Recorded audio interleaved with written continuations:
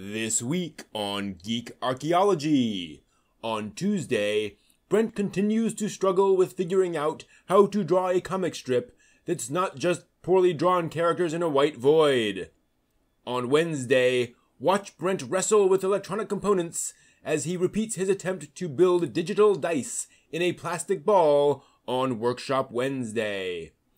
On the Friday anime live stream, it's the spring 2018 anime season, and Brent's here with reviews of 30 new anime series. Plus, on Otaku no Cooking, we're moving on to rice and making onigiri, or rice balls. And on Sunday, after falling asleep last week and totally missing his normal video game stream time, Brent will maybe, finally, face the conclusion of Titanfall 2 and his irrational irritation with its level design.